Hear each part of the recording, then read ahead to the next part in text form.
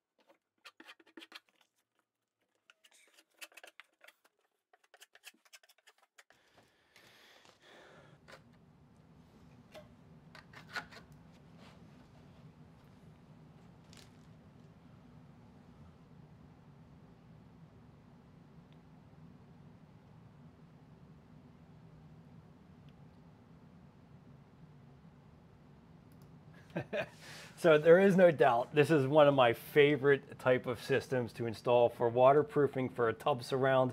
It really is that easy. I know that was just like a two minute demonstration of installing this, but it really is uh, stream, really streamlined, very quick and efficient. And if you have a window in your shower, this is definitely gonna help you out and make it really simple to be able to make sure everything's 100% waterproof. Because after all, the tile is just the decorative part of the bathroom. If you had an old bathroom with you know the regular four by four tiles that are falling off the wall and there's mildew and mold behind it, you know what I'm talking about. Uh, that they basically, there's a lot of times the older generation would just put it straight over plaster and then you have all of these issues. So waterproofing your showers is definitely highly important and this is one of the easiest systems to install. And tonight, that's what this whole live stream is gonna be about. It's uh, not only for uh, you know, to be able to show you how to do this, but also to interact with you as well and show you some of the, uh, you know, the kind of the features what I'm building on this platform to be able to help you.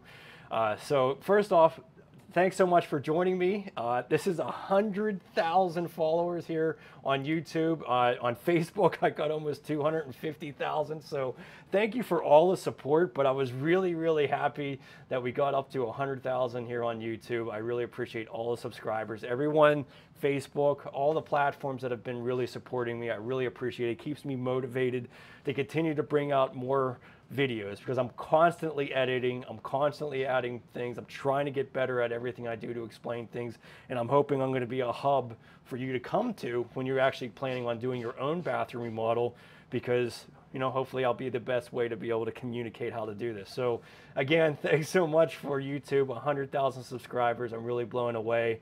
It's really awesome to see. I mean, I'm not sure anymore if 100,000 is a real big deal on YouTube, but uh, it is to me, and I really appreciate everyone. Uh, so let's get into tonight's things. We've got a lot to get through. So we're going to be going over uh, my course. I, I outlined this in a course. So if you guys don't know my entire platform, I basically have every single bathroom I do, I basically create a course and then it outlines the entire step-by-step process of throughout the entire project. So right now I have seven complete courses that is available. Uh, the basement bathroom project is the one I just finished and I'm now currently working on this tub shower replacement. And that's all I'm gonna be doing in this particular bathroom is a tub shower replacement. Uh, but we're going to outline it in my course here and just know that I do have all these different courses. I have the ultimate tiled shower, curbless shower course. So if you're doing a master bathroom on a second floor and you want to do a curbless entry, maybe you're taking out your existing tub and putting in a, in a curbless shower, this is the, definitely going to be a lot of uh, great tutorials here that are going to help you understand how to go about doing it, maybe in what kind of projects, uh, types of materials and things that are best to make it easy for you to be able to do that. I also have converting a tub to a walk-in shower. Uh, we actually just use a regular acrylic base and so I can step you through that entire process. And the one big thing about this uh, converting tub to shower course right here is that it it's an old, old 1950s, maybe yeah, 50s bathroom with the old mud bed walls that were about an inch and a half thick. So it was a lot of demo to be able to do that one. But anyways, check out my courses. But we're gonna get into this Hydro Blok. This is a system that when I went down the coverings uh, the, earlier this year, uh, they were one of the, the big guys that were at the, the show and showing some of their products. And this particular board I was really drawn to because I used to use this type of board all of the time. It's a cementitious board, it's foam, it's easy to, to cut, there's no dust, and the great thing about it, it's waterproof all the way through. So I'm really excited uh, to share with you the process of installing this. Um, and there's, you know, obviously there's a lot of different foam backer boards out there, but once you use one, you're never going to go back. You're never going to really want to use any HardieBacker or make any dust with uh, cement boards. So, hey, on the way in here, I meant to ask you, please give me a like on the video. Helps out the algorithm, whether you're on Facebook or YouTube. And I'll try to get some of your answers if they're pointed towards waterproofing uh, towards the end of the program or after each session of this. So as you can see, let me move myself here. I basically have a curriculum here and um, so when you, when you look at this, I have, uh, this is the waterproofing section, uh, previous lesson. So this, to give you a little bit of background of this bathroom, let me see if I can go back to my, um, so I have, right now I just have the demo process, installing the new jacuzzi tub, uh, putting a new window in that tub surround. So we did replace that window. That is a really good time to go ahead and replace your window is when you get into this much of a demolition. It's just easier and really by the time you seal everything to this window, you're never really gonna wanna be able to replace it later on. You'll probably never really get it watertight doing it later on. So if you have a, a window in your shower, you're gonna wanna replace it at the time that you're doing this tub surround so you can make everything 100% sealed. So I show you about how to go about measuring and ordering a window, and then uh, a lot of the framing in this one was a little bit complicated um, because it was existing walls. So let me just show you here. I have, so I actually have my camera set up here inside the space. Let me move myself out of the way here a little bit. So this is the space upstairs. Yeah, this remote works good. So I got the uh, jacuzzi tub in, and as you can see here on the on each side of the wall, I have existing wall material. That's kind of like a fake crappy tile um, particle board stuff. I'm not real thrilled about it, but uh, really our job was just to replace the shower. And you know, there's a lot of people, that's all they can really afford these days is just to do the shower. So I totally get it. Just know that if, if you're wanting to replace this later on, like that, that particle board stuff, um, you know, you really need to decide what your really your end game is. Trying to replace that later on after you get the tile in can be kind of painful. So, you know, if you if your dream is to really have a full bathroom uh, completely remodeled, then I would say try to save up and do it then. But I understand that there's some emergencies, and that's what happened in this bathroom. This bathroom, actually, I installed the tub, and I already had done all the tile four years ago, and I ended up having a real problem with the drain. Uh, of the uh, existing tub. So when I put this new basement bathroom down, which I'm actually in the basement right now, uh, when I was connect, reconnecting the, the plumbing to it, I ended up cracking the tub flange on that cheap, crappy tub that I had. So I had to replace the tub, and then once I tried to start replacing the tub, it ended up turning into me removing all the tile and just starting all over again. So, you know, it, uh, you know, I guess it happens for a reason. I was able to now be able to give you uh, a tutorial on how to go about waterproofing around the window as well. But what I wanted to mention was just that having existing walls makes this a bit more complicated especially when you're working with plaster, uh, because a lot of times the, the, the, the full opening of from rough in framing to rough in framing is about an inch, if not even more than what the size tub is. You know, your tub is usually just 60 inches, and so you have about an inch and a half that you're trying to fill in, and uh, there has to be some trickery of the framing to be able to do that properly. So that is really going to be important. So if you have a bathroom that has plaster and you're trying to just do the tub surround, highly encourage you to get into this course. It's going to highlight some of these really problematic areas that is going to make it easy for you to figure out how about going about doing it. So, all right, so getting into the waterproofing, I got to go back to, I don't know why. I have to go back to my, okay, there we go. All right. Um, so the waterproofing section goes into step-by-step -step for this whole process. And uh, as I mentioned at the beginning of this video, this is my preferred method. So we're gonna watch a video on uh, why this is the preferred method that I like. And we're gonna discuss more about uh, the project and how to go about doing this. So I have a video lined up here. You have to forgive me. I, I had this all set up, but uh, for some reason it freezes on me when I have it sitting down on my other ledger. So I'm gonna have to resize each one of these videos. We've got five or six videos that we're gonna go through. They're all like three to five minutes. And uh, it's just gonna help really open up the discussion about this. So let's go ahead and watch this first uh, four and a half minute video. And uh, we're gonna uh, then get into the meat of the, the conversation of how to go about doing this. So what is your favorite waterproofing system? Like what do you go to? I mean, really it comes down to efficiency, speed, the time that it takes to do it. I'm all about quantity of jobs. Um, you know, there is something to be said about um, what, what is like the best waterproofing. And really, I mean, when it comes to these foam boards, it kind of puts both of them into the same thing. I mean, you know, the easiness of cutting this, the sealant application makes this very simple and kind of foolproof. And then the waterproofing ability is kind of superior to a lot of other things. You know, you're not going to get any mold issues with foam board. You're not going to get any rot.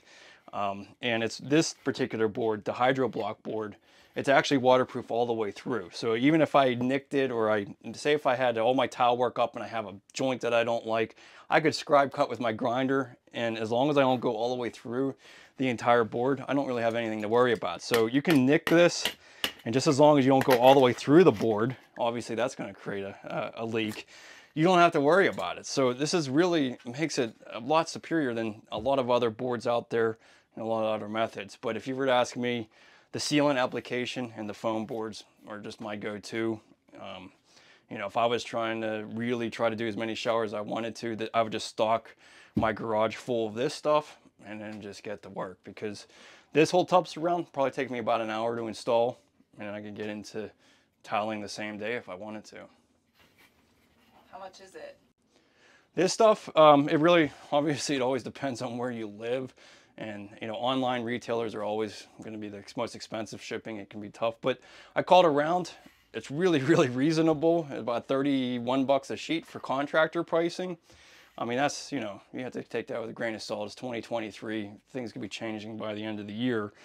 Um, but that's pretty competitive. Actually, it's really competitive to a lot of the other big brands out there. So, um, like I said, I'd probably buy a whole pallet of this and put it in my garage and I'd be just be able to really quickly and efficiently do tub surrounds like this.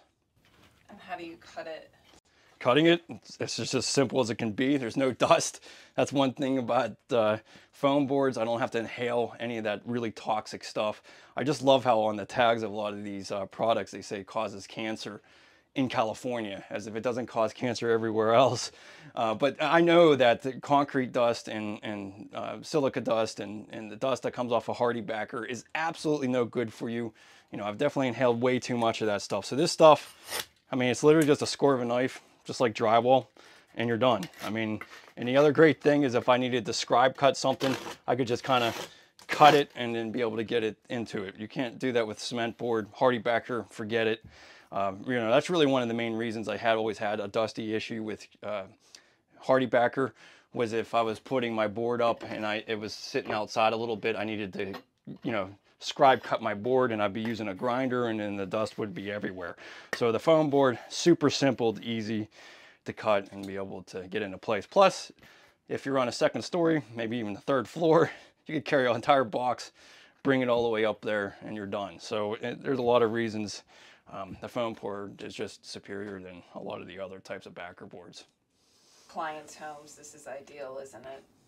To not create. Yeah, not to create the dust. And I'll, I'll admit that I, um, you know, I'm trying to avoid the amount of times I have to go down the steps and go out to the, out to the wet saw or whatever it is. So I'm definitely guilty of creating dust, and I've tried to implement things like dustless, or not dustless, but uh, shop vacs that you can attach your components too, like a grinder and things like that.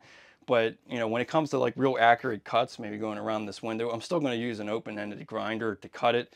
Uh, and you know, it's like it. You know, most of the clients don't have a problem with the dust at the first day because they kind of expect it during the demo. But by the time through day three or day four, they're like, I can't handle this anymore. You got to get out of my house.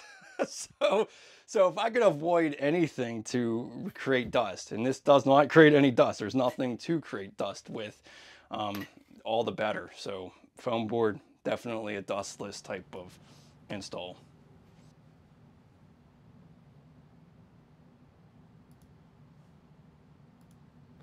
So yeah, so there is definitely a lot of reasons to to use the new foam boards. Lone Wolf on uh, YouTube was saying he's got to get away from Hardie. He needs to get into some of these foam boards. They absolutely should, man. It definitely is a game changer with the speed. Uh, as you were able to see, the cutting of it is very very simple. Uh, you know, just a simple utility knife and no dust. And Lone Wolf on YouTube uh, HardieBacker, I despise that stuff. I love it for exteriors of homes, like if you're doing any of their siding. I think it makes a lot of sense. Bugs don't want to eat it. If you paint it, it lasts a very, very long time. Uh, but for tub surrounds, I, I really despise HardieBacker. It does it, it just loves water. It's a very thirsty type of product. So whether you're doing, if you do liquid waterproofing over it, it just kind of zaps that first layer immediately. And you have to, I mean, you always have to do two coats of liquid on most circumstances, but cutting it is painful. Um, it's very, very dusty. It's brittle, like the corners can crack very easily. I know Lone Wolf on YouTube, you, you know all of this, but um, you know, one of the things that uh, is really problematic with HardieBackers is, is the fact that it draws out the water so quickly. So if, if you were to put this in a space and you didn't do any liquid waterproofing, you go to you go put trowel, some thin set over the HardieBacker. By the time you go to set the towel, it's already hardened because it's sucking all the moisture out of that thin set. The proper way to do that, if you were just to go directly over this, is to wipe down it with a damp sponge and then tile it. But uh, really there is no reason to use HardieBacker anymore. There's an argument for cement board, regular like Wonder board. You know, there's a lot of, I just actually in this basement bathroom, I did cement board. And it is easy, you know, cement board is still, you know, available everywhere. So I understand uh, the draw towards it. But once you get your hands on some of this foam board, it's just going to be very, very simple. So Pro Baths on um, Facebook was asking me, where do you get this stuff? I have some links in here. Uh, basically, if you go to hydroblok.com, go to their um, locator and you'll be able to find it in your own areas. So this isn't, uh, unfortunately, I mean, it, it is throughout the United States. I don't know how far out, you know, if Canada or anything like that carries this stuff quite yet. Uh, but the Daltiles, D-A-L, um, D-A-L, towel, Daltile, uh, a lot of them are starting to carry this stuff, and I am pretty sure if you go to any of them, you can ask them. Uh, you know, especially if you're a contractor. I think somebody was saying at 31 bucks a sheet, you would go ahead and buy a whole pallet. I'm sure you, if you went to any of those companies like that, they would they would order it in for you. And that and you know, so I uh, obviously was uh, given this product to, to demonstrate and install, but uh, you know, I did call around the Daltiles and stuff, and that's what they were saying for contractor pricing. Now you have to realize if you're a homeowner buying this stuff at distributors, it's it's going to be more expensive. It's going to be the retail price, um, and you know, you can you can obviously argue and, and try to whittle them down on the price. But uh, anything that you see online, any of these foam boards, whether it's uh, Kerdi board, Wedi, um, Go board, if you go online and look at the price, it's outrageous. But when you go to the distributors, it's like half the cost. So, but I thought this was very, very reasonable. Um, you know, Go board, I was basically spending the same amount of money for this at, at you know, if it's at 31 bucks a sheet. Um, but that's, um, you know, again, contractor pricing, it's going to be a little bit more when you're getting into being a homeowner buying this stuff. Um, and yeah, I mean, it just really is a quick, efficient thing. Basically, what I did here was five sheets of uh, hydroband or hydroband Hydro Blok board. I needed a hundred uh, set things of screws, uh, five sausage tubes. So I always do recommend using the bigger tubes of sealant. So this is, goes into like a sausage tube. This is basically twice the amount of um, uh, sealant as you do in the re those regular tubes. But if you even just went to HydroBlok, you can go to where to buy, find a dealer, and then locate the area that you live, and it'll pinpoint on the map where it is. So it's right now it's it's primarily just you know being sold uh, on a dealer level. So Daltile, I think Menards. Um, we don't have any Menards here over here in Pittsburgh, but I believe um, there's a lot more further west. So Menards is carrying it. So that, that if you're if you're west of here, that might be a great way to go about it. In my course here, this is just highlighting my other courses I have. I do have instruction on going over using Go board. I do have instruction on using Schluter Kerdi board and then uh, using cement board with the waterproofing as well. And I also do Wedi. This is a very, very similar product to Wedi uh, in a lot of ways identical. And I also do sheet membranes. So I have some sheet membranes. So I'm not like just glued to one, but I, I will say that the sealant application uh, with the foam board is my absolute favorite. Kerdi board is great, but I love using the sealant application like Go board, Wedi, and now this Hydro Blok. They're all very similar types of um, installs and they're just they're just so much easier to do. So let me get you the other video here for the next part of the program, which is overcoming the tub flange. And that's always a headache for some people uh, of, of overcoming it. There's different strategies to go about it. And it, you know, again, meeting up with an existing uh, wall makes this a significantly more challenging. Uh, so know that you know that's where it's going to be a little bit complicated. I really personally like to gut the bathrooms completely down to the studs and start all new, but I understand that some people just can't afford to do everything. But we're going to go over overcoming a uh, tubs uh, flange and different ways to go about doing that because there's multiple ways to do it. And let me grab and shrink this down. I'm to shrink this so we don't have to you don't have to see that, but. Uh, yeah, it's it's always somewhat of a question mark on it uh, as far as uh, overcoming that tub flange. So let's get into that. I think that's wide enough here. And it's just going to go over those three different common ways. It's only a minute, and I just have a, a real quick demonstration on it. But I want to go over three different ways to overcome a tub flange. So this is a jacuzzi tub, and as you can see, I have a good quarter inch thick flange that I screwed up to my structural, up to my framing. So one of the problems is, is you don't want to bring your board down and bellow it out because that would create like kind of a bellow area. It would also create like a little bit, a bit of a void behind there. So there's three different ways to overcome it. Number one is just to simply sit this down right on top of the flange and put sealant and seal all the way across here. Number two, we can actually create a rabbit joint here and just cut part of this out so that that's the, it will overcome the flange down to the bottom of the floor. And then lastly, just to simply fur out the entire wall again, and then you can just bring that straight down to the tub. This is actually probably the easiest way, but not really practical in most situations because if you have existing drywall on the outside on these side walls, you're not going to be able to shim it out without having to remove all the drywall to get everything evened up. But on the back side of the tub, this can really work out great. You can just add another shim, bring it up, bring it straight down, and you're good to go.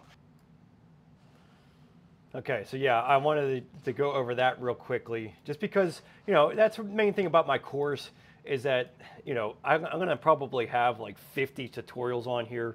And if you're on YouTube or Facebook learning how to do this stuff, um, you know, obviously you can search around and continue to find uh, your, your, the person that you trust to give you the right information. But the course really keeps everything organized. So you can just come down to the actual section that you're having trouble with and learn how to do it. I, I kind of like having it broken up. So that was just like a real quick summary of how to go over overcome that tub flange and be able to do it. So let me just click on the, the course part of this here. So I have always have the video right up the top and in the curriculum on the left hand side. But yeah, three common ways is, uh, you know, all tub flanges aren't the same. So this is a jacuzzi tub and it had a fairly thick flange. It's almost about three eighths of an inch thick. There's a, you know, if you were doing a steel tub, those are like only maybe like a quarter uh, after you put the uh, washers to tuck it to the wall. And then if you had cast iron, well, it's kind of like of a, it's almost, it's almost kind of a non-existent uh, flange in some way, and you're basically just butting right on top of it. So, but really, my preferred method, if I were doing everything new in the bathroom, is just to shim everything out. Just put half inch or 7 16th inch strips of plywood, kind of like I do on the back here, and just run that board straight over right onto the tub deck. That really is the simplest way, but on a lot of situations, especially with existing walls, you just don't aren't able to do that. Uh, so number one is to just set it right on top of the flange. Uh, and then fill that gap. That's what we're going to be doing basically on each side of the, the shower because we're meeting up with those walls and we didn't have any ability to do that or you know basically the, that wall board would be outside of the, the, the, the, the finished plaster area. So tub flange was basically flush with the board, so the sealant application is the simplest way to go about that. Second option is to actually notch it. We did that on the back side of the tub.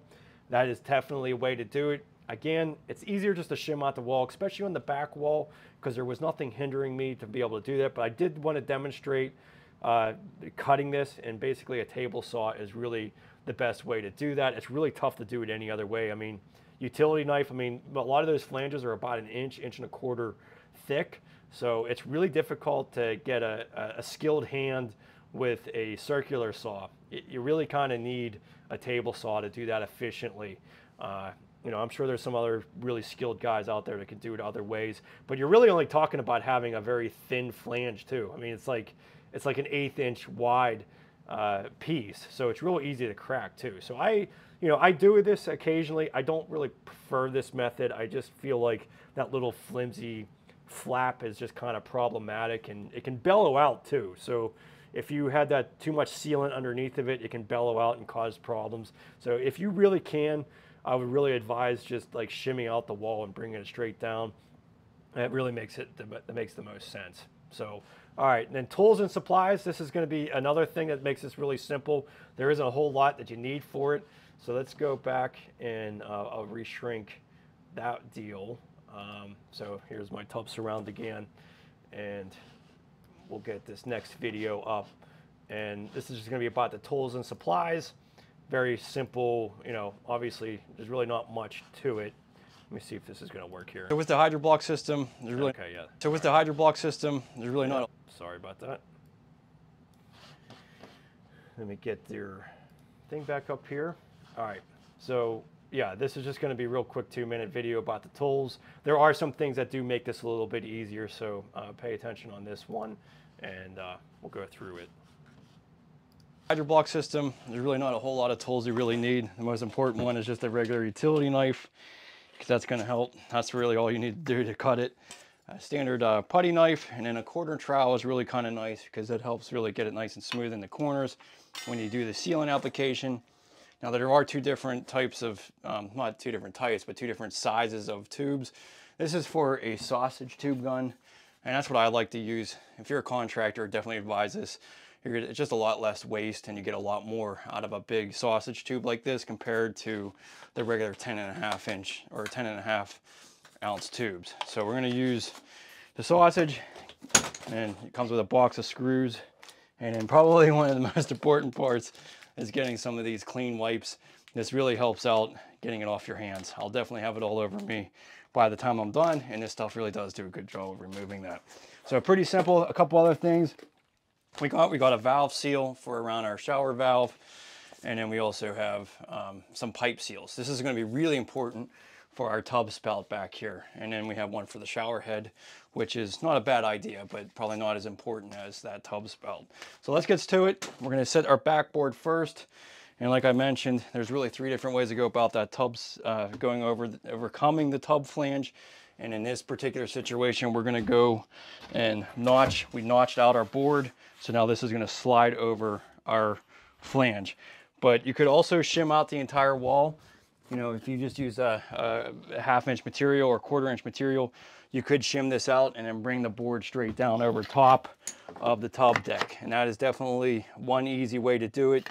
Most of the time you have that ability on the back wall of the shower, but not always so much on the sides because you're kind of coming up with the two existing drywall. So we're gonna show you another method going over this flange once we get the back wall set. Okay, so there you go. Uh, the tools are very simple. The corner trowel is definitely kind of nice. It makes a nice, easy corner sealant. It makes it completely sealed in, in the corner. Not necessary. A three inch, four inch putty knife is really your primary tool along with the utility knife. And then having those valve seals, I mean, some of this stuff can be like just overly over the top.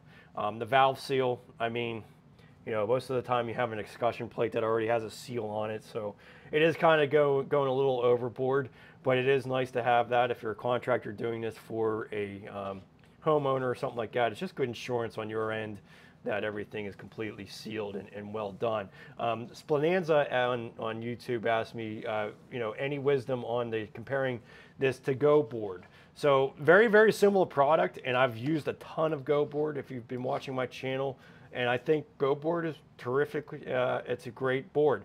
I just feel that this cementitious backer on this is just a lot better, um, more of a, a, a webbed type of thing. So this has a more, I feel like it has a more rigidity to it than Go board. It's not itchy like Go board. I get a lot hear a lot of complaints about that, but I do believe that they're actually coming out with a board that's not going to have all those fibers on it. Um, but this is definitely it has a more of a rigid uh, feel to it. And then what I'm told, and I'm not 100% sure on Go board, I, I believe that if you penetrate the surface of Go board, it's it's compromised. But if you penetrate this, it's no problem as long as you just don't go all the way through the board. Um, other than that, um, other than just being a, a, a, better, stiffer board, I just uh, there really isn't a whole lot different. Uh, you know, this is gonna, you're using washers and screws on this one. You do, Go board does have uh, washers as well if you wanted to use them. Um, so yeah, I mean, it's, it's uh, either way. I like the cementitious backer. I feel like there's like just like a better coating, um, something a little bit more grip. But hey, I've, I've done hundreds of sheets of Go board. I have nothing but uh, good things to say about them. Um, I just think that, that you know if I if I had the same price at the same store, I'd, I'd probably be buying the Hydro Blok board just because I, I, I tend to gravitate towards it. I like it. You know, it really does remind me of, of Wedi. And Wedi. I basically started out my whole career using Wedi products uh, with their shower pans and systems back way back in um, 2010, I think was one of my first Wedi showers. So I was a real big fan of theirs. They just got, they've just gotten way out of price range for most scenarios, but they still do have a great product. I still use it.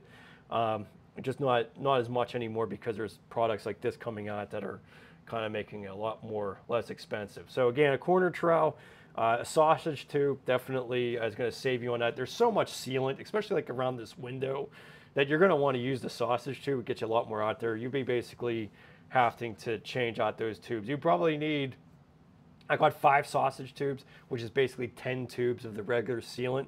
So you're changing out those tubes like every other minute with the smaller stuff. So if you're doing this stuff all the time, it's not it's not feasible for just a DIYer to buy the sausage tube. I totally get it. But if you're a contractor, that's definitely the way to go. 100 screws, that's all you really needed. Like I said, I got the valve seal, the pipe seals, uh, and those are all kind of like, you know, things that, um, you know, basically are or uh, over the top type of things, the pipe seal and the and the valve seal. You can certainly have other ways of sealing everything to it. But again, go to the uh, hydroblok.com and go to where to buy and it'll show all the locations. So there is a lot of Daltiles that are carrying it, a lot of other specialty stores that I see down here. Um, American Oleans, that's basically a Daltile. So it seems like they're going to start really ramping up their production. Um, Best, Best Tile, up in New Jersey is carrying it. So they're, yeah, it's definitely getting around. So it's pretty cool. Um, all right, so notching the foam board. And uh, I'm just gonna show you a quick demonstration on that. So let's click you back over to my shower here. And uh, you guys can stare at that while I get this other one prepped here. But yeah, good good question, uh, Splanza on YouTube that, uh, you know, it, there is so many different methods and different ways of going about things that it is sometimes uh, you know, like which one do you really want to go with? And you know, I've been using them all. Uh, If you've been part of my channel, you've seen me use every type of system out there. I'm trying to think of what else. Uh, You know, I do want to try Mapei's board. They just came out with a board, uh, which I'm excited to try, and uh, and just you know really try to find out what the best one is. But you know, the sealant application, there's hands down, no matter what comes out, it's still going to be my favorite way to go. And if I was a contractor trying to do as many jobs as I could, I would just buy a pallet of this, get the best price possible, because you're just going to go through it. If you're doing one bathroom after another, you're going to go through it, and it'd be nice to just have all the excess materials there ready to go for each job. All right, so looking at the next one is about notching this back wall here. And uh, yeah, we got, you know, we're about halfway through here. We still got a lot to go through. So thanks everyone for joining me tonight. Really appreciate it. And uh, yeah, let's go ahead and watch this video here. Okay, so the tub flange, we're sticking out a quarter inch, so we have to address that. I can't just bring my board down and bring it over, or you're gonna bellow it out and it's gonna really look bad with the tile work. So the way we're gonna address this is we're actually gonna notch out our board so that it can slide over that tub flange and meet the tub deck. So let's go ahead and bring our whole board out and we'll create that dado. Okay, so you can see how that's whole rapid jointed out there. Whether you're overcoming the tub flange and bringing the board straight down, or what we're doing, you still want to you want to put a bead of sealant all the way along this flange.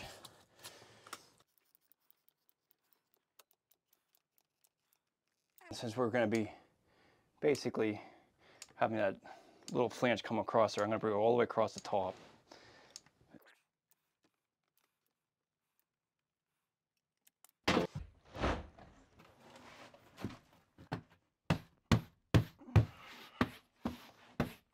So you can kind of see that oozing out of that joint. And that's all nice and straight. So you can see all that sealant kind of oozing out of that joint. That means that you got that nice and sealed in there and that overcomes that flange pretty nicely. Okay, so on the first row, you kind of want to be six inches off of the tub deck. And the main reason for this, and this is kind of the same with the showers as well, is that if you pinch it down here, you could potentially, um, you know, cause a, too much strain on that little flange piece that we put in there and possibly break that off. But if you're doing a, a basically bringing this down over top of here, you don't want to pull this away from the joint in any way. So bring your first row six inches off of the tub deck for your first row. And you're basically just making them flush with the wall. So just tighten them enough to where, you know, they're basically a little bit recessed within the wall. Anything you puncture like that, we'll be able to fill in with sealant. Now this next screw, I'm gonna wait until I get my next board on because then you can do one screw and pinch both of them. Save yourself a little bit, a couple of these washers. Any excess silicone or uh, sealant, you can just wipe smooth. Cut around the window, you could use an oscillating tool, you could use a utility knife, or you can use a router, or uh, basically a drywall router here. So I'm going to use this. I'm just going to basically zip out my window.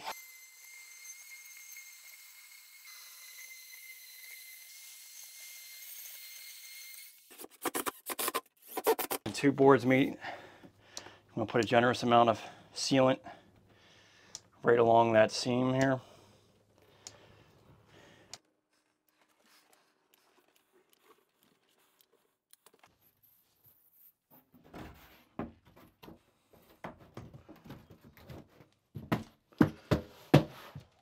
See oozing out, that's good.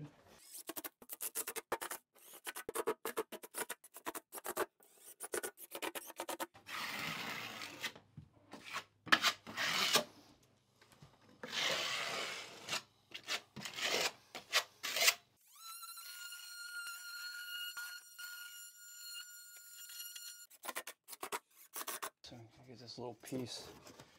Tell you what, this is a great thing about this type of board is you can, your ceiling's a little bit uneven, You just easily scribe cut this. All right, that should be, should be good.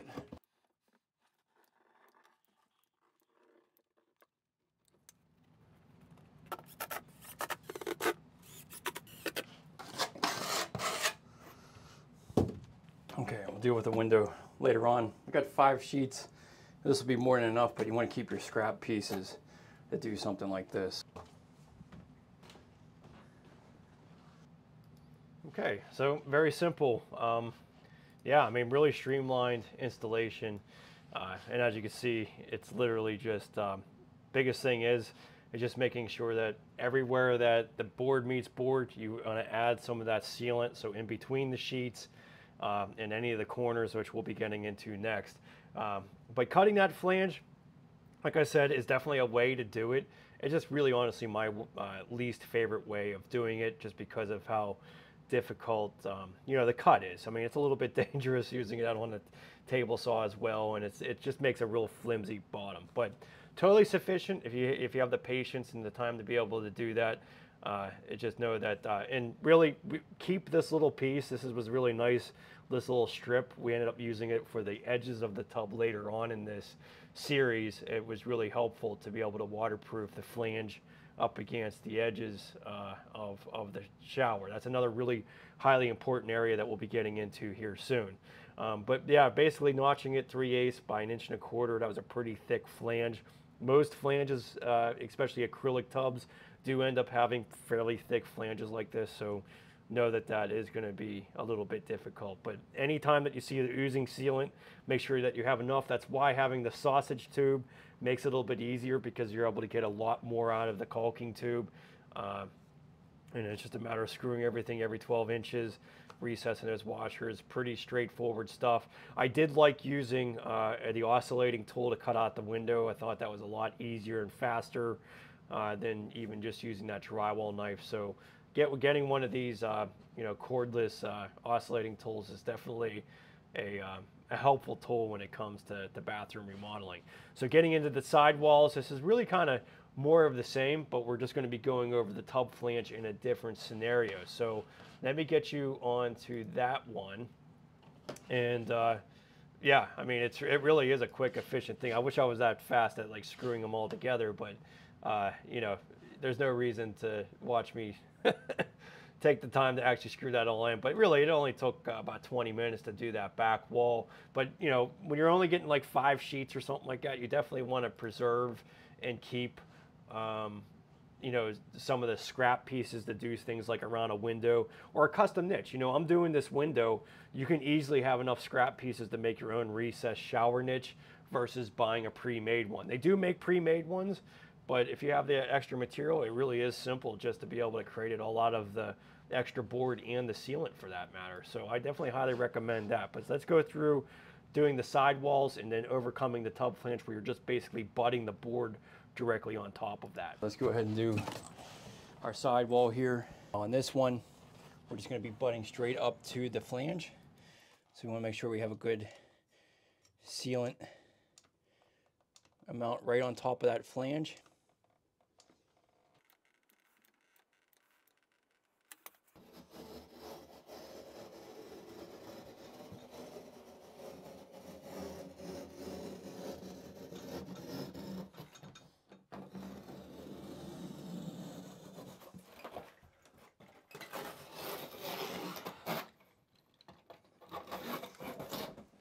Much easier. So that's definitely a really easy way to cut this. Now go ahead and set this into place. Now you do need a sealant where you're meeting the other board in the corner here. So put a generous amount all the way down that corner.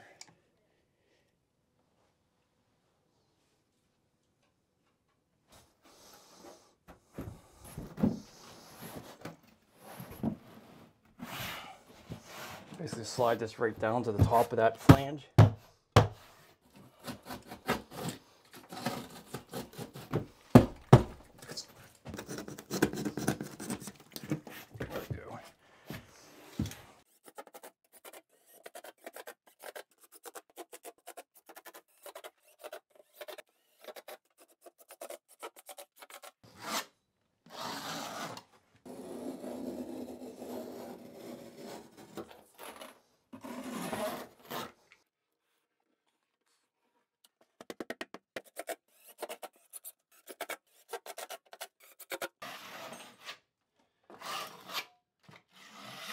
Same thing, since we already have shims and everything, and our flange is sticking way out of here, we're gonna have to basically just go on top of the tub flange, so 30 and a half, 31. There's not a lot of room here, so about an inch and a half is that flange. Indicates my pipe right there. And then our shower valve, very easy. Just basically puncture the back and that'll indicate the middle of our valve. Four and a half inch hole works nicely.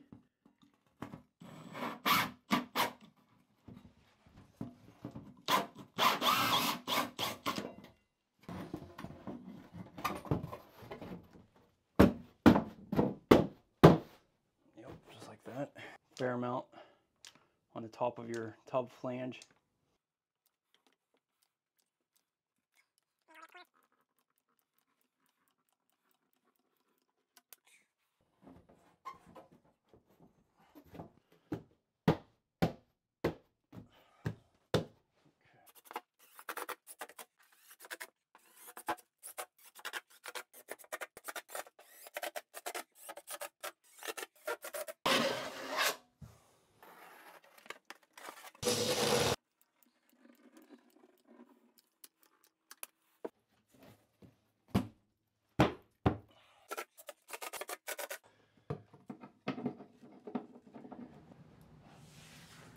So, you know, it definitely is an efficient system, no doubt about it. I love being able to just take that foam backer board and beat it up against the shower valve and be able to get a perfect indication of where that is. Cement board, HardieBacker, you were never really able to do that. So it's definitely a nice thing. And plus the scribe cutting of it is just tremendous. Being able to fit that in between those two walls really makes it nice and easy. Uh, you know, when your when your HardieBacker is sticking outside of your plaster area, it definitely takes a lot more effort. But the key points here is just adding enough sealant. So using this sausage tube really helps out. Uh, I think Andrew on Facebook was mentioning I should get an automatic electric caulking gun for a regular caulking tube. That works great as well. You know, but if you're using those little 10 inch tubes, you know, it's just a matter of getting enough on there. Um, but you really want to be generous it, with it in the corners because that's what you're basically adjoining it to and then making sure that you have enough on top of this tub flange so when you rest that down that you're actually able to squeeze a little bit of that sealant out. Now we will be filling this entire cavity uh, later on, but it is good to have some on top of that flange just to make sure that's 100% sealed. But scribe cutting really is the best part of this is being able to be able to maneuver the board in place and just cut it in place. It really makes it uh, easy. It's, it's just a treat. At any time, you know, I've used so much cement board over the years, and it's such a treat every time I get to do this because it's just, I remember how hard it was always to have to cut things. And if you use the grinder or something like that, you're just creating an enormous amount of dust too. Fasteners every 12 inches, again, sealant in between anything that the board meets. A spade bit helps to, for the toilet flange, and then a hole saw for around the valve. A four and a half inch hole is what you're gonna need uh, for that actual shower valve seal to go in. Now there are a lot of shower valves that are not going to work with those valve seals, so pay attention to what you're installing. In this particular bathroom, it was just a standard, I think it was Moen, or maybe it's Delta. Actually, I think it's Delta, but it's just a standard, you know, regular seven and a half inch escutcheon plate. Uh, and so you're able to just do a four and a half inch hole and that, that'll fit there. Now, if you have like a square box or you have some kind of you know, a lot of these Amazon ones are coming up with the squares. You really can't do uh, the valve seal on that. You're just going to have to seal the board right around that box. It is one nice thing about the Amazon boxes. They protrude out and then you can just seal all the way around them. So pay attention to the valve that you're actually installing. Oh no, this is actually a Kohler. This is a Kohler valve. I forgot about that. So um, yeah, so it really uh, streamlines the installation. Really not much to conversate on that. We're going to go on right into the window framing. This is the this is a really big um, problematic area for people. This is definitely something that needs to be 100% waterproof.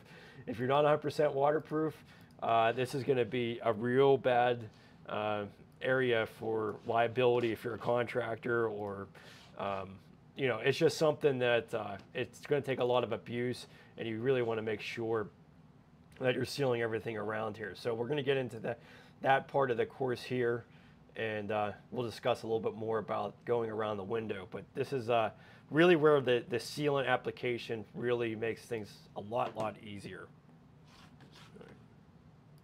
Okay, so the window, probably the most critical part of this entire tub surround because it's something that uh, really isn't that friendly to having water to. So first off, we need to cut some of our foam insulation out of here nice and flush.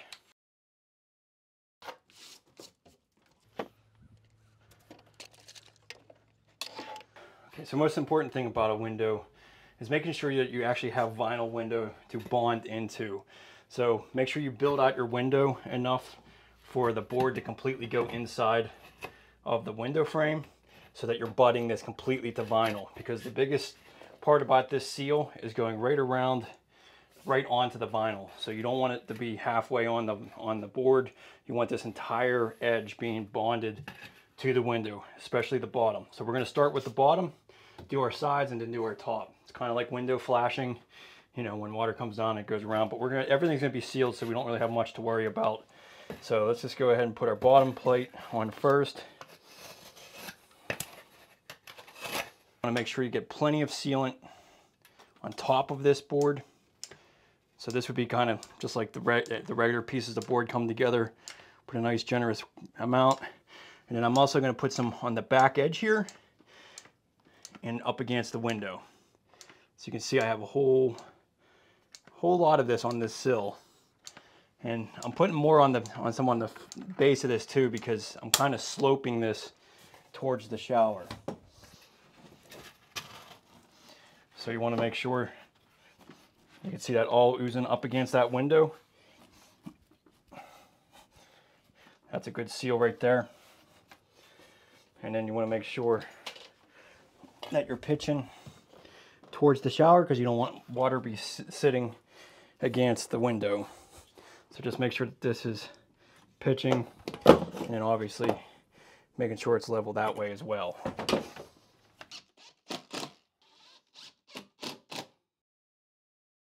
Making so we're to apply some sealant over these screw holes so this will be end up being completely covered but if you did have any of this green exposed it's no problem at all it's completely waterproof all the way through this board so you have nothing to worry about there now I don't want all this stuff being on my window, so I'm just gonna basically pull some of this away from my window. Now you can get this stuff off of your window. Don't worry if you got any on there.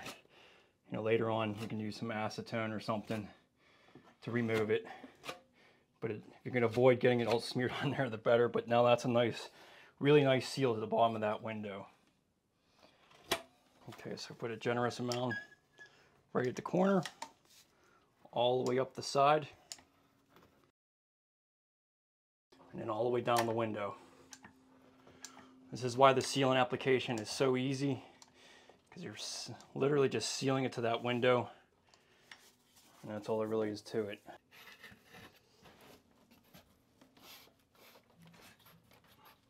So you want to see that oozing out of that window frame.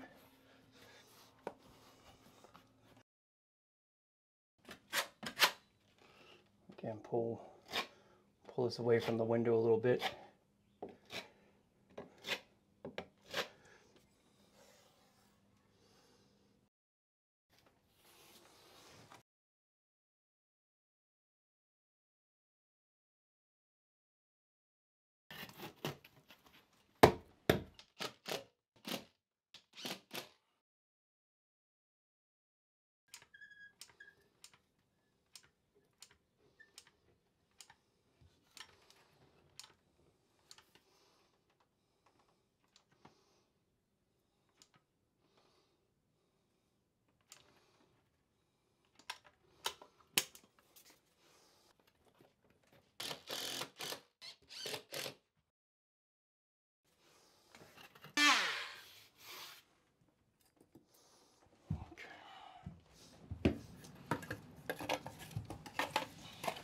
Okay, so yeah, most important part here is getting that completely bonded to that vinyl window frame. So making sure that you have everything kind of framed in at that framing stage so that when you slide that board in there, it'll meet directly onto that vinyl. You want to have that really nice, big, generous bead of caulking so that that can totally embed right into it. And then the windowsill, obviously that's the most critical area of the whole thing and making sure that that is oozing out of that window. The sides, you know, I mean, try to make sure that everything's oozing out of that, but the bottom, you really want to see that kind of lifting up a whole bunch of, out of that windowsill because that's obviously going to be the area that you're going to have the most damage or the most um, you know uh, uh, water hitting the actual surface and then pitching that sill is really important too you don't want to have water resting against your window um, even when you go to do the towel layer and stuff if, if your waterproofing underneath of there is not pitched um, the water underneath the towel is going to sit against there and it's eventually going to find its way into that window frame. So this is the reason why if you're planning on doing a um, you know, a new tub surround and you have an existing window, you want to take the time and order that window in advance and then put a new one in because at this point, like it, would be very difficult uh, to change out that window later on. And as much sealant and everything, like you would never be able to change this window out. Uh, you would uh, I mean, I shouldn't say never, but it's definitely going to be a harder challenge to make sure that it's 100% waterproof. And I really wouldn't leave it up to a window company making sure that that's going to be 100% sealed. They're just going to basically use a whole bunch of silicone uh, around that and hope that it's going to last. And, and a lot of times that's not. This polyurethane sealant, this is definitely a far superior type of caulking than any type of regular silicone. So just know that this is a premium product that Thinset actually bonds to as well. But I want to give a shout out to John Beasley on Facebook. Hey man, he's an old high school friend of mine. He's from Kansas. He was saying he's currently waterproofing his bathroom floor with Ditra and laying fresh towel based off of my videos. Thanks so much for watching, man. Uh, yeah, and Schluter uh, Ditra, that's definitely still one of my main types of uh, products for floors. It's an isolation uncoupling membrane. It kind of replaces the idea of having to use cement board or HardieBacker. Uh, but speaking of like Schluter, doing a Schluter window frame, trying to waterproof this with uh, the membrane is an absolute nightmare. I absolutely can't stand doing it because it's just all the membranes that you kind of have to kind of embed over each other. And then you have to basically take the membrane and seal it to the window. Uh, so it's really, uh, this is a real um, bonus being able to do this with the, the, full sealant application. It makes it so much easier than using any type of membrane and you're not getting any buildup. As long as you kind of like trowel everything smooth, you're good to go. Now there, there is a final waterproofing step here. This was just basically embedding the board. So know that, that we're gonna be going and dressing all of these uh, screw holes and stuff with more sealant. So if you're doing a window like this, get two tubes of that 10 ounce uh, tubes of sealant just to do this window or just another whole entire sausage tube so that you can have enough to make sure you seal it. Because there's there's a lot of sealant that goes along into this but this the flexibility of this sealant is, is very superior to silicone. So any um, you know basically expansion and contraction of that window is is not going to be a problem. So uh, yeah so that's really that's really it. I mean that makes the the window uh, the worrisome of having uh, any problems with the uh, the window a lot, lot easier and uh, very streamlined. So it's just a matter of making sure that you get that framing set up so that that board completely meets that vinyl window. Now, you know, a lot of you might not have vinyl windows, you might have metal, but again, pay attention to what kind of your shape your window is. It's not, you know, I mean, windows are not cheap. I mean, I think that we paid $400 for this one because we got the obscure glass because you didn't really, you know, the, the one previous to this had a window in it that was, um, uh, it had the kind of like a film over it that they, they kind of put in. And none of those films ever last.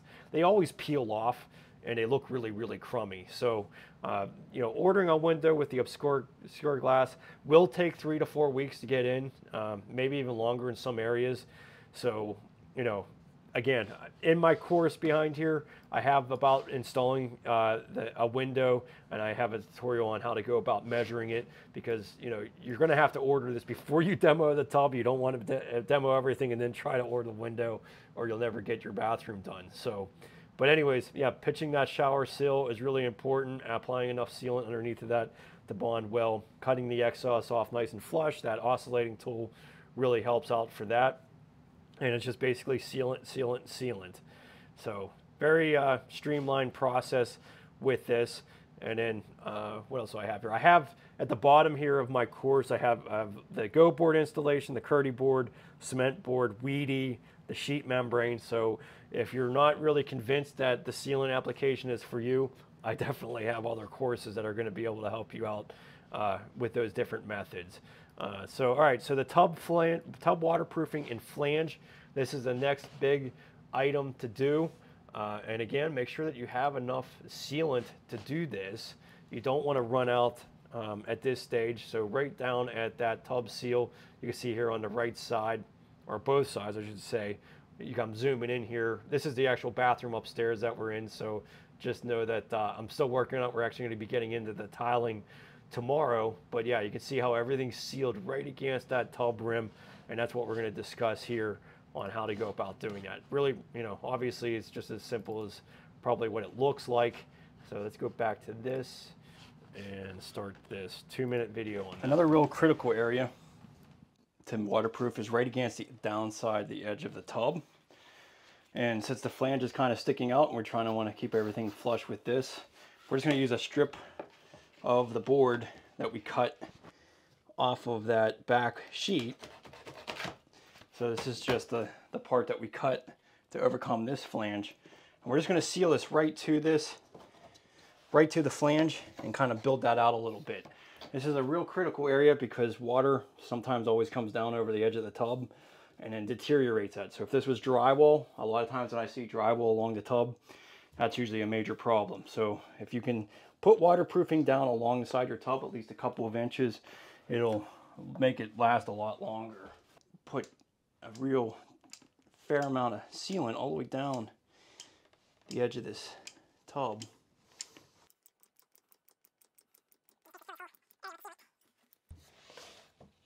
And this will just go embed right over top of this.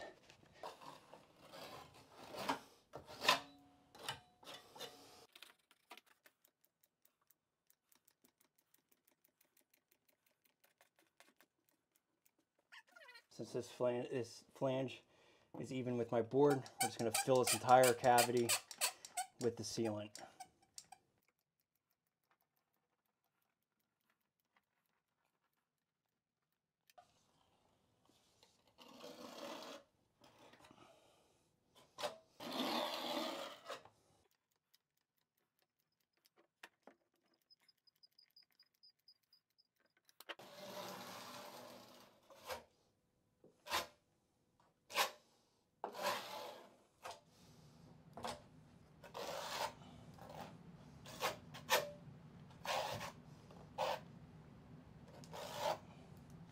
So, and don't worry that um, this type of sealant thin set will actually bond to it. So that really is just about as simple as it gets as far as uh, addressing that seam and uh, making sure that's 100% waterproof. Again, this is not just your primary, that's like your silicone or any type of uh, other material that is going to mold or create any problems. This is like a, a special polyurethane type of blend and it's going to allow not only the thin set to bond your tile to it, but it's, it's going to have that elasticity to it that is going to uh, really keep this a long uh, term type of waterproofing joint. So really uh, pretty streamlined installation when it comes to that.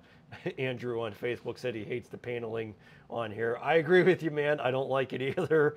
It's kind of like it's completely against uh, everything I stand for, having a, a, a fake wood um, tile. But uh, hey, I wasn't the one uh, making the decisions on this. This is just what the the customer. I mean, you should have seen the tub surround originally. It was really in bad shape. So this is going to be a tremendous upgrade. But I fully agree with you. I don't like the uh, wood paneling either. It's really just a matter of filling in that joint. It's that simple with the sealant application.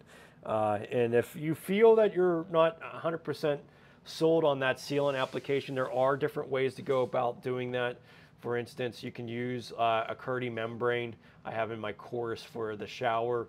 So you can actually just use a, um, a membrane on that portion there. So basically feathering out a piece of sheet membrane all the way across there. That is a really great way to go about doing it. You basically thin set the top layer and then you put the sealant in the tub gap and then you cover everything over with the actual deal. So I do have a tutorial on how to go about doing that. That is a very uh, strong way to do it as well, rather than having all of that exposed.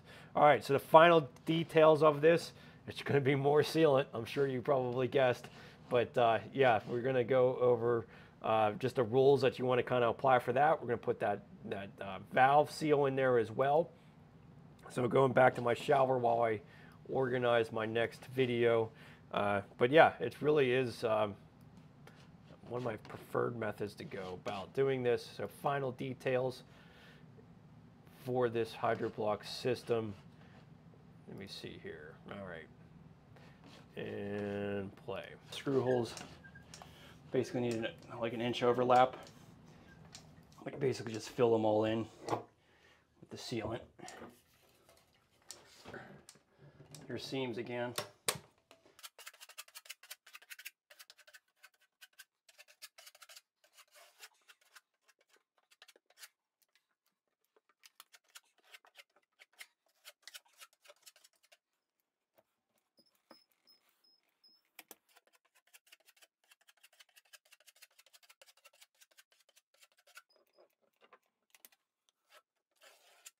around the window. Just go across this entire seam. Make sure to get these little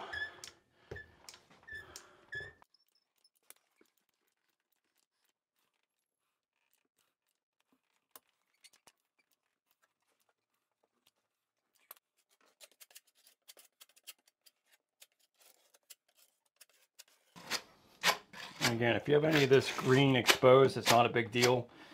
Just know that the uh, thin set will actually bond better to the sealant than the actual like exposed green stuff here.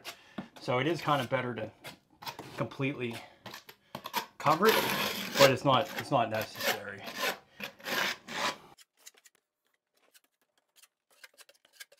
Might not be a bad idea just to basically do this whole sill. Completely sealed surface here.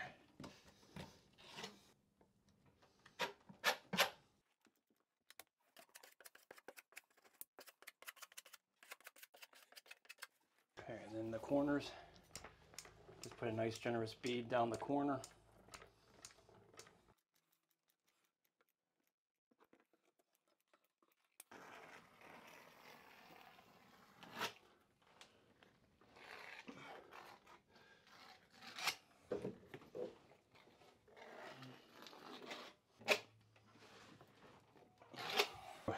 This is a mixing valve seal.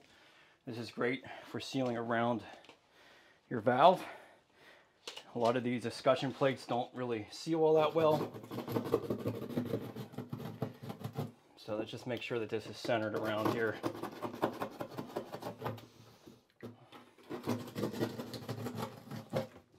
So this has two sides to it. One has a big fat end. This side, this side actually goes into the wall. So just center that up. That looks all right. And then you can use thin set or you can just use the sealant to do this. Just that if you do sealant, you're gonna wanna spread this out to make it nice and smooth.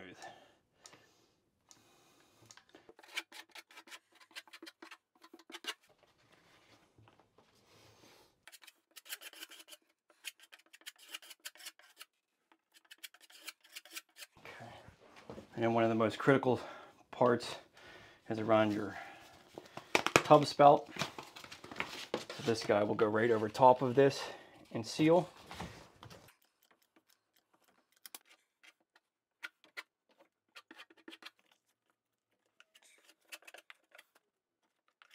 Okay, and I'm actually gonna just seal my copper to it.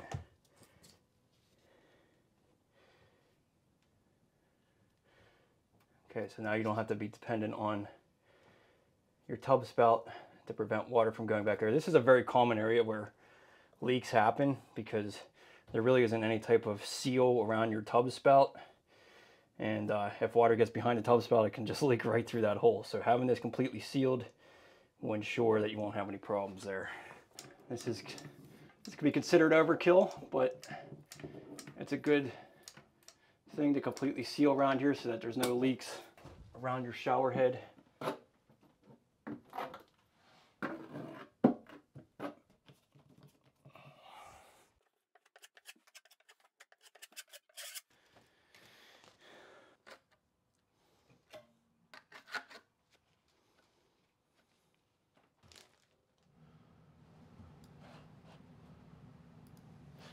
Okay, so the big takeaways here is uh, they have some Nope. sealant wipes. That's really helpful. Will you show your hands? helpful to get all this off of there. So these wipes have a an ointment on it that will help clear off all this sealant. Yeah, don't uh, don't be doing a project like this if you have a wedding to go to the next day because it's still it still could leave some stuff on there. Maybe have some acetone as well to help you out with that. Um, but the big takeaways on this final sealant application is trying to just get an inch overlap on all the screws and all of the seams essentially. You're basically just coating everything uh, with it and uh, making sure that everything's 100% sealed. So again, you're going to be going through a lot of sealant. This is a sealant application type of product. Just make sure that you smooth everything out flat so that you don't have any issues when you're actually setting the tile. And uh, as you see around this window, we really used quite a bit. I think it makes a lot of sense to be able to just coat that entire windowsill. Uh, and if you didn't pitch that property for some whatever reason, you could pitch it with the, the sealant. You can build this stuff up. This stuff is gonna, this stuff will definitely harden up and be able to take tile later on. So if you didn't build that up enough to make it slope, double check it, add a little bit more sealant on it, coat that entire thing and make sure that it pitches properly. Uh, the corners are another obviously a real important area. It's not as, I mean, it's critical on a tub surround, but it's more important for a shower. And a lot of these methods are basically everything that you're doing with a shower. You're just going to have a shower base that's going to be different. Corner trowel definitely makes it nice for this. Definitely not something that's uh, 100% ne- necessary. Same with this valve seal. Uh, this is definitely extra insurance. And the main way that this is basically working, that is if, if any water got behind the tile, you see this little rubber gasket uh, lip that's out there, water will just kind of seep around that versus going into that whole cavity. But I'd say the most important aspect is to put it uh, around your, your uh, tub spout. This is where I see a lot of rot. Uh, when I take out old showers, basically everything around the shower valve is basically just kind of crumbling apart. And a lot of it has to do with uh, water getting behind the tub spout and then just kind of deteriorating the wall. So if you can seal that completely, that's one way to definitely uh, an excellent way to go. The other aspect is just making sure that you bring it down alongside the tub. I always recommend bring your tile a couple inches outside of your shower so that if anything in contact with the tub, any water that comes over the edge of the, the, the um, the tub, it's not going to deteriorate. So that there's two areas that I see the most problems with. One is the tub spout where water's getting behind there and deteriorating the wall behind the tub spout. And number two is alongside the tub where you have drywall just butting right up to the actual tub and all that just kind of bubbles off or causes problems. So if you seal those two areas, you're going to be way ahead of the herd, way above uh, what people were doing 20 years ago. Um, but there is an argument to say, hey, some of these uh, projects um, that people built 40 years ago, you know, if there's a little bit of mold these days, that's not, you know, not the end of the world, and and you're going to be replacing it anyway. So, but this is, uh, you know, this is just definitely the better upgraded way to go, so that you never have any rot, you don't have any mold, you don't have anything that's going to uh, be a problem. This is going to last for decades to come. Uh, and with very little issue other than just you know cleaning the grout line. So obviously, um, tiling, grout, things like that, you still got to keep things clean. And speaking of which, get some of these cleaning wipes. They'll definitely make getting some of that off there. You could also use rubber gloves. That would have been a smart way to go about it as well. But I also wanted to mention in my course as well that you can just basically, at the end of each one of these, if you had a comment, you had a question about your own specific project, you can leave me a comment there. That's where I really dedicate my time because anything that is asked there, I will be able to help you, uh, the next person out that might have the same issue. So the course is really there to support you, highlight everything step by step, and be able to allow you to really efficiently move on with the project. All right, so our final video is just my final review thoughts on it. Um, and again, I mean, these are just my honest opinions about this. Uh, it, has been, uh, you know, this is a, a, system that I'm very familiar with, the sealant application uh, and this type of foam board. So uh, I was very, very happy with it, and I'm glad that I found a product that is affordable and be able to, um, you know, be able to get back to using this kind of material. So, all right, let me just show you this last little one minute video. Uh, basically wraps everything up.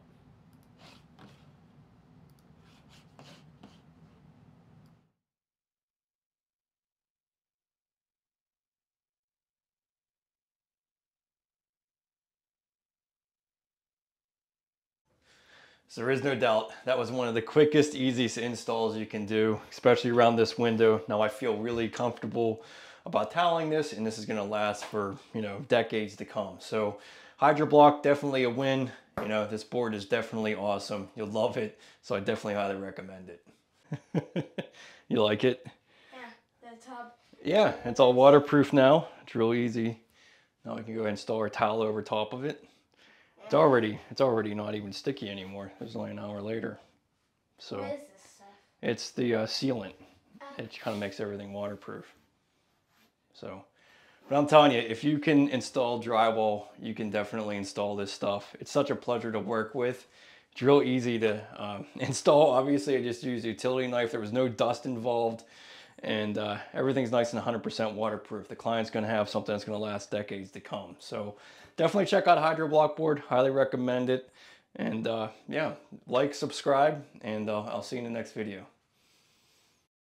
Okay, I know I repeat myself. I do that all the time for um, separate different videos, short videos, different things that uh, we can use the content for. But uh, yeah, I'm, uh, I'm a big fan of it. Uh, so go to, you know, I mean, I'm not, I'm not necessarily trying to sell this to you, but if you go to a, a find a dealer on hydroblok.com, you'll be able to find that. But definitely uh, check out my course. I have um, a, a, DIY membership that basically incorporates all of my courses put together. Let me show you where that's at here. Got it down at the bottom. So at the bottom, if you go to my uh, become a DIY Geek member, you get all my courses bundled together. And then I have all these interlinks. So just like you saw, I have a bunch of different ways of going about um, waterproofing. So if you're using Kerdi board, I have a tutorial on that. If you're using GoBoard, I have a tutorial on that. And uh, over time, I just plan to collect all of these uh, different ways of going about things so that I can help you plan, learn, and build your dream bathroom. So thanks so much for everybody joining to me tonight. I hope uh, this has helped you out. Give me a like on the video, subscribe if you haven't, and I'll see you in the next video. Thanks so much.